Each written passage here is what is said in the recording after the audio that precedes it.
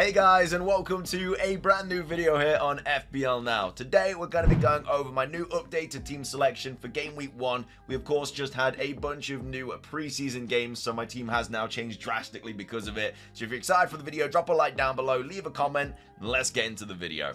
So, starting things off in goal, we're back to Onana, the Man United number one, replacing David De Gea. Again, the 5 mil price point is not bad for this player at all, and I'm constantly umming and ahhing between going with him and a, uh, or between a 4.5 mil keeper, and it's, it's generally just so up in the air. I don't know what to do with it, but I've gone with Onana at the moment, which obviously means I don't have Luke Shaw because I'm not going to be playing double United defense. Uh, but yeah, Onana in goal. Again, it should be a, a, very solid asset to that Man United team and hopefully gets a few clean sheets as well. Don't know if he's going to get the Golden Glove like De Gea did last year, but uh, either way, I think for 5 mil, he should be a, a very decent option. United have got some okay fixtures as well. Not the greatest fixtures from a defensive standpoint, but uh, yeah, I think they'll still do pretty well at the start of the uh, the start of the season. And they've got Wolves at home for the first game week, so not bad at all.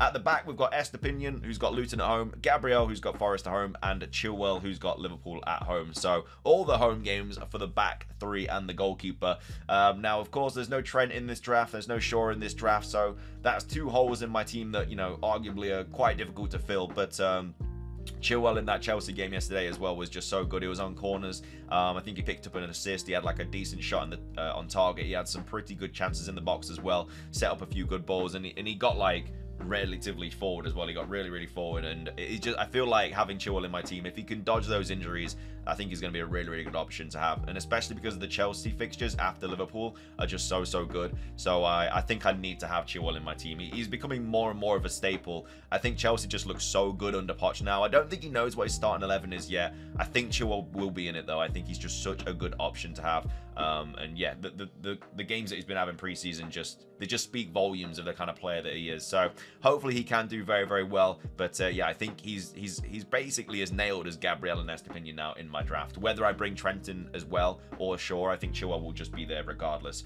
Um, so that's the back line and that's my goalkeeper. Uh, the midfield has changed. We've brought in Odegaard now as well. We've got Saka, so obviously that means I've not got Jesus because I've already got my three Arsenal options here. But yeah, I've gone Odegaard, Rashford, Saka, Mitoma, and Bruno Fernandes. Um, of course, United have just signed the new striker, so I don't know how he's going to uh, impact the team. I don't know if he's going to be a sure starter or what. I think they definitely need a striker, and he should be starting most of the games with probably like Rashford on the left, um, Bruno just behind, and then obviously on the right you can have um, somebody else. I don't know where Mount's going to play as well. Like there's all these players they're bringing in that are going to have like these different positions, but um, yeah, I, whether he plays every single game, you'd, you'd expect him to play most of them. I mean, they have just signed him for like 70 mil or something, so arguably going to be in every single starting lineup you'd like to think. But uh, yeah, brought in Odegaard as well. That could easily be a Martinelli though. Could easily be um, even like a Trot. Like Trossard's been having such a good preseason as well. Very very risky to bring him in, but uh, I think he could be a very very uh, good option as well. But again, his minutes are just all over the place. But so I've gone Odegaard just for the minutes. Really, just there's not really any risk with Odegaard and Saka. You know they're going to be starting every game. You know they're going to be playing most of every single game, and uh, he's the captain as well. So he's on a few set pieces. So uh, hopefully he can reward me. But again, I'm a little bit iffy about whether he's going to be in my final um, game week one team. Uh, Rashford, Wolves at home, again, another sure starter, should be playing every single game. I think he only got dropped a couple times last season, um, and that was for like injuries, and there's also a couple of other things as well. Like I think he had like um, not a fallout with Ten Hag, it was like late for training or something, so he got dropped. But again, he, you know, there was no like bad blood between him and the manager. Uh, and then Saka, also Forest home on penalties, should be anyway. Has missed another one preseason, but uh, either way, should still be on penalties. Mitoma is someone that I'm kind of like less enthusiastic about right now. Um, there's there's just other options now for 6.5 that I think are probably better than him. Like the new art, the uh, the new uh, Aston Villa signing at 6.5. He's a he's a decent option as well.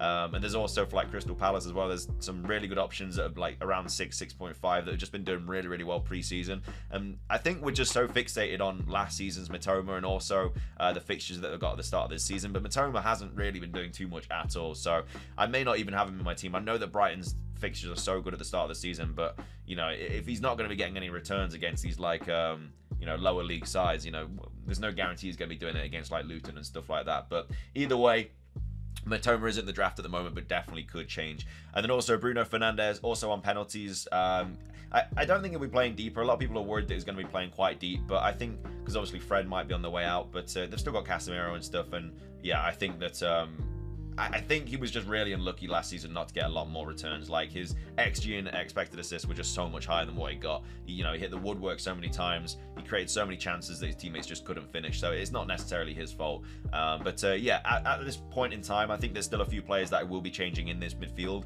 But um, that's who I've got at the moment. Now, before we get into the forwards, another um, quick word from our sponsor. If you're using different apps and websites for the latest football news and need a solution with it all in one place, then Route 1 might be something that you need to take a look at. With the Route 1 newsletter, you'll never be out of the loop again. It gathers all the football news and delivers it straight into your inbox in a snappy 5 minute read. It takes seconds to sign up and also keeps you up to date with all of the latest FPL news for absolutely free. But that's not all. As a subscriber, you'll get amazing discounts on football tickets and shirts and football experiences. European away days included. Join before September for free and pay nothing ever. No risk to you. Unsubscribe anytime. Just scan the code on the screen. Now let's get back into the video. Okay, so finishing things off up top, I've gone for a little bit of a, a different pick, and we brought in Darwin Nunez um, for Liverpool, who's got Chelsea away. He's actually been having a very, very good preseason so far. He bagged again, um, and the the kind of risk with Nunez was that like his minutes were just going to be dropped, but he seems to be like starting every single game. I think that he's really benefiting from this number nine role with like how they're playing now and if he does get the minutes, which again it looks like he is, he has started like pretty much every preseason game. I'm pretty sure. I think he's going to be a really really good asset. The only issue is that he's the exact same price as Nkunku, and I think we're going to see a lot more 3-4-3 drafts because we've got Nunez, Nkunku, and then obviously Haaland has to be there as well. You've also got Gabriel Jesus. So we had like no striker options, and now there's like four really, really good options that have kind of come out of nowhere and they're all around the same price point, barring Haaland, obviously.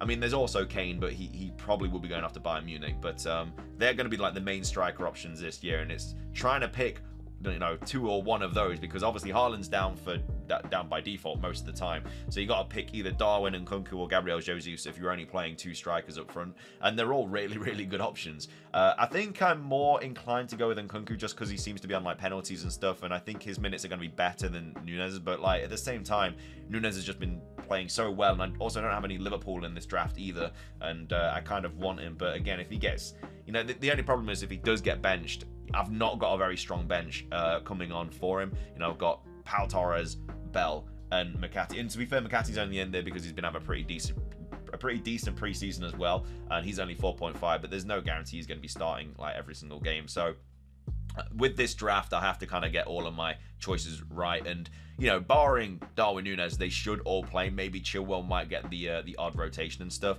But remember, with Chelsea's fixtures this season, that there's nowhere near as many as they usually have, and so because of that, you know, he's going to be playing less. He's going to get more recovery and stuff, which is another reason why I think Chelsea are really good options. So this is how my draft is at the moment, but I think there could still be a few things that change. Again, with the United striker, when he comes in, that could easily go from four strikers to five strikers that are really good options. How is that going to affect like Rashford and Bruno? We might be seeing less of those in everyone's drafts, and you know, there's not long now until the season starts, so it's going to be very, very interesting how it kind of all like shapes up. But uh, as of right now, this is what we're looking like. But I think I probably will be getting rid of Nunez for Nkunku. And I may even switch it up to 3-4-3 because I could bring in Nkunku, downgrade Odegaard, and that would also save me like 0.5 mil as well or a mil or something like that. So that could also be, uh, be another option. In fact, if I actually go to my transfers right now uh, and do that, so I actually get rid of... Um, McCarthy here and I bring in, uh, let's just say Nkunku comes into my squad, um, I need to make 3 mil from somewhere. So obviously Odegaard, I mean, that'd only give me double Arsenal as well, which isn't great because, you know, their fixtures are just so, so good. But I've got 5.5 to play around with there. Um, so I could bring in, like, to be fair, like, Anderson for Newcastle's been playing very, very well.